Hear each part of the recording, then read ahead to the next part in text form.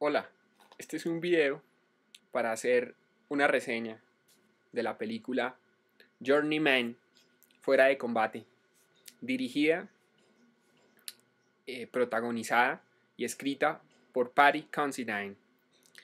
¿De qué, ¿De qué, se trata esta cinta? Esta película, bueno, se trata de, de un boxeador que mm, va a tener una pelea por el, por el título mundial, o sea, defendiendo el título mundial. Este es un boxeador inglés. Y se tiene que enfrentar contra un rival, contra un rival afro, afro-inglés, digamos. Eh, este boxeador tiene una familia, tiene una esposa, tiene una hija chiquita, una bebé. Y en la pelea las cosas no salen como deberían salir. Eh, recibe una, bueno, él gana la pelea, pero recibe una fuerte, fuerte golpe que le produce un, un daño cerebral. Hasta aquí, hasta aquí eh, describo de, eh, de qué se trata la película.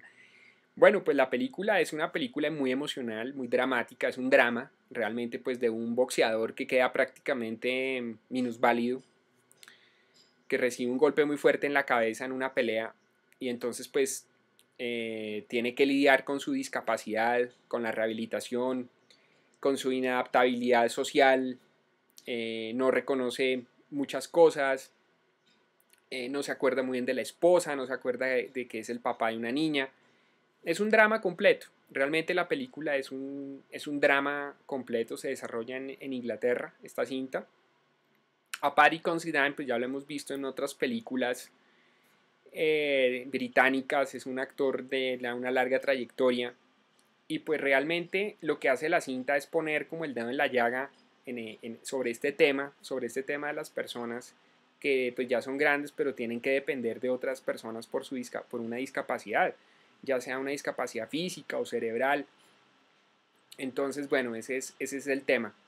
No voy a decir cómo acaba, porque pues sería un spoiler terrible, pero sí, la película es para, para emocionarse, sobre todo llega mucho al corazón, sobre todo para las personas que hemos pasado por este trance de tener familiares o amigos en, una, en este estado, digamos, de, de conciencia, que no reconocen a las demás personas, bueno, que, que han perdido, digamos, ciertas funciones vitales, ¿no es cierto? Sobre todo desde el punto de vista cognitivo y sobre todo desde el punto de vista cerebral. Es una película que pone el dedo sobre la llaga y también tiene que ver un tanto con, darle gracias a la vida, ¿no es cierto?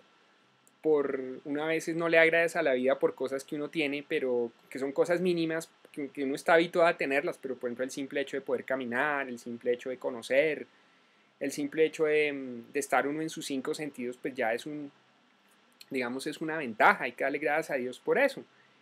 Y pues si uno está padeciendo una enfermedad, pues también tener la fe de salir adelante. Y esta película se trata sobre eso, sobre la fe, sobre la esperanza de poder salir adelante, sobre la ayuda que nos pueden dar los demás, los amigos, los familiares, uno mismo también, tener como esa actitud, digamos, de, de resiliencia hacia la, hacia la vida después de algún problema, de, de alguna falla.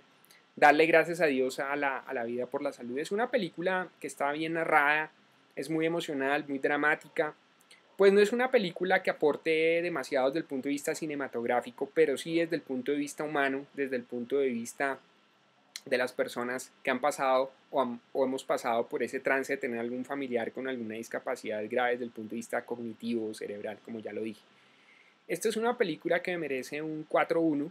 4 porque me parece que es una película que logra su objetivo, que es conmover, eh, le llega uno al corazón, la película le llega uno al corazón, eh, y fuera eso un mensaje, un mensaje de aliento, ¿no es cierto? No, no digo qué pasa, como digo, qué pasa con el boxeador, si se recupera, si no se recupera, si la esposa sigue con él, si no sigue con él, qué pasa con los amigos, si no sigue con los amigos, no, no voy a decir, pero pues porque de eso se trata la cinta ya en su desarrollo, digamos que describir lo más mínimo, y es para que las personas vayan al cine a reflexionar, a emocionarse, yo sé que hay gente que le gusta este tipo de películas que son muy reales, eh, que no les gustan la ciencia ficción, ni las, ni, las, ni las balas, ni nada de eso, sino que les gusta ver historias de la vida real y esta es una, vida, una historia de la vida real que los va a conmover. 4-1-4 porque logra su objetivo, Y el 1 porque también manda un mensaje de aliento y de esperanza hacia las personas.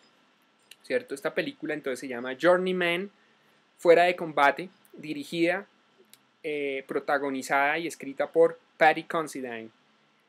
Muchas gracias por ver este video. Visiten mi página FBG Cine, suscríbanse, que pasen un feliz día. Que estén muy bien.